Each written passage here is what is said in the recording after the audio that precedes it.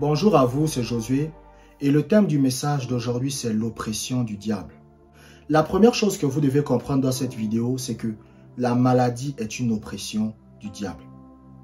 La maladie est une oppression de Satan. Chaque fois que vous voyez quelqu'un qui est malade, cela signifie que Satan a décidé de le détruire. C'est si simple que ça. Parce que vous devez comprendre que le royaume du diable est organisé. Vous comprenez? Le royaume du diable est organisé. Le royaume du diable, c'est une armée. Est-ce que vous comprenez? Et il recrute des gens. Donc, le royaume du diable est composé de deux choses. Il y a les anges, les anges du diable, les anges maléfiques, les anges diaboliques, qui sont dans le monde spirituel. Et il y a aussi des gens sur terre qui travaillent avec le diable. Et le royaume de Dieu, c'est aussi la même chose. Vous allez voir que le royaume de Dieu, il y a les anges de Dieu et il y a aussi les êtres humains qui travaillent avec Dieu. Par exemple, moi, j'en fais partie. La Bible dit que nous sommes ouvriers avec Dieu. Et maintenant, dans le royaume du diable, il y a différentes catégories. C'est comme l'armée. Vous savez, quand, vous, allez dans l'armée, il y a l'armée de terre, il y a la marine. En fait, il y a différentes catégories. Vous allez voir qu'il y a les forces spéciales. Dans l'armée, on ne fait pas tous la même chose. Chacun a sa spécialité. Il y a ceux qui sont dans l'espionnage. Chacun a sa spécialité. Maintenant, dans le royaume de Satan, il y a des esprits qu'on appelle les esprits d'infirmité. Quand je dis esprit d'infirmité, qu'est-ce que ça veut dire? Ce sont des esprits dont le rôle est de rendre malades les gens. C'est leur rôle. Par exemple, vous savez, quand je dis par exemple que Satan m'attaque, ça ne veut pas dire que c'est Satan lui-même en personne qui vient m'attaquer. Non. Mais ça veut dire qu'il y a un représentant de Satan qui vient m'attaquer. Et ce sont des esprits d'infirmité. Leur rôle, c'est de rendre malades les gens. Parce que ce que vous devez comprendre, c'est que les esprits ont la capacité de rendre malades les gens. C'est pour cela que vous savez, je me rappelle un jour, j'étais dans un quartier. Quand j'étais au Gabon, à Libreville, j'étais dans un quartier. Et il y avait quelqu'un qui pratiquait la sorcellerie. C'était un vieux monsieur. Et lui ne cachait pas ça. Il pratiquait la sorcellerie. Et il y avait un jeune homme qui se moquait de lui. Vous me suivez? Le jeune homme se moquait de lui. Il se moquait de lui. Le vieux a dit, hein, tu sais ce que je vais faire? Je vais faire en sorte que ton sexe se mette, se mette à grossir. Et tu vas mourir à cause de ça. Le jeune homme a commencé à se mettre à genoux, il a demandé pardon. Parce qu'on savait qu'il pratiquait vraiment la sorcellerie. Oh, pardon, pardon. Il a dit non, je vais aller, je vais aller dans ma chambre, je vais faire une sorcellerie. Tes, tes, parties génitales, tes parties, ton sexe va commencer à grossir jusqu'à ce que ça va devenir tellement douloureux, tu auras mal, tu vas voir. Je vous demande pardon pour la vulgarité, mais bon, je vous dis ce, qui a failli arriver. Le jeune homme a demandé pardon. Il a pleuré. Il a dit pardon, le vieux. Pardon, je ne vais plus t'embêter. Je te demande pardon. Pardon. Et le vieux a dit, ok, je te laisse. Pourquoi? Parce que ce sorcier-là, il fait tomber malade les gens avec des esprits. Donc il envoie un esprit et l'esprit l'a fait tomber malade la personne. Un jour, il y avait un jeune homme qui était dans un village en Afrique. Vous comprenez? Et c'est mon petit frère qui m'a raconté l'histoire là. Il est allé voler dans une maison. Le gars lui a dit, tu as volé, on t'a laissé. Ne viens plus jamais voler ici. La prochaine fois que tu rentres dans cette maison pour voler, tu vas voir ce qui va t'arriver. Le jeune homme a dit, ah, je m'en fous. Il est parti voler six mois plus tard encore. Le pied du jeune homme a commencé à gonfler, à gonfler. Et malheureusement, il est allé voir un marabout. Il est allé voir les marabouts, les gens qui pratiquent aussi la magie. Vous savez ce qu'on a retiré de son pied Des aiguilles. Mais oh, les gens se sont posé la question. Même mon petit frère s'est posé la question. Il a dit, mais comment des aiguilles ont fait pour se retrouver dans son pied? Une tonne d'aiguilles. Hein? Vous avez déjà vu qu'on enlève les aiguilles dans, le, dans les pieds de quelqu'un, ça remplit, ça remplit une, grosse assiette. Donc une grosse assiette remplie d'aiguilles seulement. Comment les aiguilles là ont fait pour rentrer dans le pied de, de ce jeune homme C'est la sorcellerie. Donc les sorciers, lorsqu'ils vous font tomber malade, ils travaillent avec des esprits. C'est avec des esprits qu'ils travaillent. Donc par exemple, il fait une incantation et maintenant il envoie un esprit pour vous rendre malade. C'est pour cela que je vous dis que la maladie est une oppression du diable. Parce que il y a ce qu'on appelle des esprits d'infirmité. Et maintenant, dans le domaine de la sorcellerie, il y a des gens qui ont fait des pactes avec ces esprits d'infirmité. Il y a par exemple des gens sur terre qui ont fait des pactes avec des esprits de richesse. Oui, mais lisez la Bible. Le diable va dire à Jésus que si tu m'adores, tu verras, je te donnerai tous les royaumes et leur gloire. Il y a des multimilliardaires aujourd'hui que vous voyez dans le monde. Ils ont fait les pactes avec le diable. Le diable lui a dit, bon, eh, mon Dieu, est-ce que vous savez que même dans, le domaine de Satan, il donne la dîme? Il donne la dîme. Mais eux, leur dîme, c'est pas à l'église qu'ils donnent. Eux, leur dîme, c'est dans leurs histoires de pratiques occultes qu'ils donnent. Allez voir les francs-maçons. Quand les francs-maçons, on leur demande de faire la cotisation, ils vont faire. Parce que c'est une alliance qu'ils tissent avec des esprits.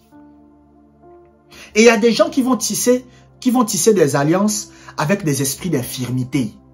C'est pour cela, il y a un homme de Dieu, il m'a dit que il était en train de prier et Dieu lui a montré une vision. Comment on a pris une vache, qu'on est parti enterrer pour qu'il meure. Pour qu'il meure, tout simplement. Vous comprenez? Parce que ce sont des pactes que les gens font.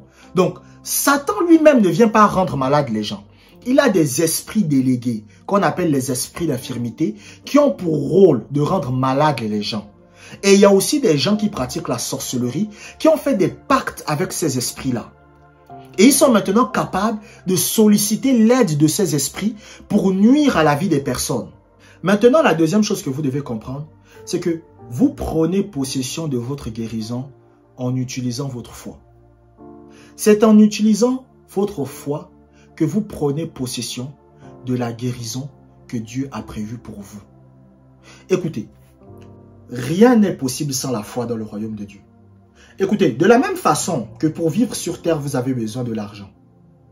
De la même façon, pour voir Dieu agir dans votre vie, vous avez besoin de la foi. Personne ne peut vivre sans l'argent sur terre. Écoutez, le micro que j'ai là, il, a fallu que je le paye avec de l'argent. Le pull noir que je possède là, il a fallu que je le paye avec de l'argent. Que ce soit les chaussures, il faut que je paye avec de l'argent. Le téléphone avec lequel je suis en train de me filmer, c'est avec de l'argent. D'ailleurs, c'est même quelqu'un qui avait envoyé de l'argent par rapport à ça. Mon téléphone s'était cassé, je ne pouvais plus faire les vidéos. La personne a dit, bon, Josué, je vais t'envoyer une offrande. Paye, voilà, paye-toi un téléphone, un bon téléphone pour bien filmer. Comme ça, tu feras des meilleures vidéos avec. J'ai reçu l'argent, j'ai dit, je te remercie. Je suis parti payer un iPhone pour mieux filmer, pour améliorer la qualité des vidéos. C'est avec de l'argent. Donc, rien ne peut être fait sans l'argent. Mais de la même façon, dans le royaume de Dieu, rien ne peut être fait sans la foi. Vous voulez être guéri, il faut la foi. Vous voulez que Dieu vous fasse prospérer, faut la foi. Vous voulez que Dieu sauve votre famille, il faut la foi. Donc, la guérison, vous l'obtenez par la foi. C'est en utilisant votre foi que vous prenez possession de la guérison que Dieu a prévue pour vous. J'ai l'habitude de vous prendre l'exemple d'un RIA, par exemple, ou d'un monégramme, ou même de PayLib. Lorsque quelqu'un m'envoie l'argent par RIA, c'est-à-dire par RIA ou par PayLib, qu'est-ce que je dois faire? Je dois aller retirer l'argent? Prenons quelqu'un qui m'envoie une offrande par PayLib, par exemple, parce qu'il y, a des gens qui me font ça. Et je, déclare la bénédiction du Seigneur sur vous, les personnes qui ont l'habitude de me faire des offrandes, que Dieu vous bénisse vraiment dans tous vos projets. Lorsque quelqu'un m'envoie de l'argent par PayLib, par exemple, la personne m'a envoyé, mais maintenant je dois recevoir. Je dois recevoir. Est-ce que c'est faux? Si quelqu'un me fait un RIA, la personne m'a envoyé, mais maintenant je dois aller récupérer l'argent. Si quelqu'un me fait un monégramme, l'argent est déjà là, mais je dois aller retirer l'argent dans une agence monégramme. C'est la même chose avec la guérison. Le jour où vous êtes né de nouveau, ou vous avez reçu la guérison divine, ou quand vous priez, vous recevez la guérison divine.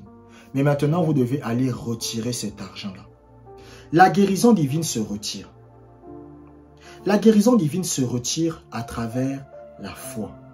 De la même façon que vous allez dans votre compte bancaire pour retirer de l'argent, vous avez besoin d'aller retirer votre guérison par la foi. C'est pour cela qu'il y a, quelqu'un qui va me dire, oui, Josué, tu dis que Jésus a pourvu à la guérison de tout le monde. Mais pourquoi tout le monde n'est pas guéri? Parce que tout le monde n'a pas réussi à manifester la foi. C'est pour cela que lorsque vous lisez la Bible, la Bible va vous parler de Jairus. Jairus va venir voir Jésus. Jairus dit à Jésus, viens, impose les mains à ma fille et elle va vivre. Jésus va avec Jairus. Pendant que Jésus est en train de marcher avec Jairus, la Bible dit qu'il y a un monsieur qui va venir pour décourager Jairus. Il va dire à Jairus que ta fille est morte. C'est bon, c'est plus la peine de prier, ta fille est morte. Et Jairus va commencer à douter. Jésus va attraper la main de Jairus. Il va dire à Jairus, ne crains point, crois seulement, crois seulement, crois seulement. Et lorsque Jésus va arriver, Jésus va ramener à la vie la fille de Jairus. Pourquoi? Parce que Jairus a eu la foi. Par contre, quand vous lisez la Bible, la Bible vous dit que Jésus va aller à Nazareth. Et la Bible dit qu'il n'a pu faire aucun miracle. Il n'a pu faire aucun miracle. Il arriva à Nazareth. Il a essayé de faire des miracles. Il n'a pas pu. La Bible ne dit pas qu'il ne voulait pas. La Bible dit qu'il a essayé de faire, mais ça n'a pas marché. Et pourquoi ça n'a pas marché? La Bible vous dit que Jésus était étonné de leur incrédulité. Donc, il n'avait pas foi en Jésus. Et comme il n'avait pas foi en Jésus, il n'avait pas pu être guéri. La Bible raconte qu'il y a deux aveugles qui sont venus vers Jésus. Quand ils arrivent vers Jésus, Jésus leur pose la question. Croyez-vous que je puisse faire cela? Est-ce que vous avez la foi que je puisse faire cela? Ils vont dire, oui Seigneur, nous croyons. Et Jésus va leur dire, qu'il vous soit fait selon votre foi. Il n'a pas dit qu'il vous soit fait selon ma foi. Il a dit qu'il vous soit fait selon votre foi. Et quand il va les imposer les mains, ils vont être guéris. Donc vous voyez que ils ont reçu leur guérison sur la base de la foi qu'ils avaient. La foi, c'est ce qui vous permet de recevoir ce que vous voulez de Dieu. C'est pour cela que lorsque vous lisez Luc chapitre 18, le Seigneur Jésus-Christ dira que c'est bien de prier, c'est bien de demander les choses, c'est bien de vouloir être guéri, mais quand le Fils de l'homme viendra, trouvera-t-il la foi sur la terre? C'est ça, c'est ça la chose la plus importante. Vous savez, il y a un homme de Dieu, Smith Wigglesworth, il a dit que la foi, c'est quelque chose qui fera en sorte que le Saint-Esprit passe devant plus de 1000 personnes pour venir à vous. Donc la foi fait en sorte que Dieu agisse dans votre vie. Je vous remercie d'avoir regardé cette vidéo jusqu'à la fin. Abonnez-vous pour des prochaines vidéos et que la grâce du Seigneur soit avec vous.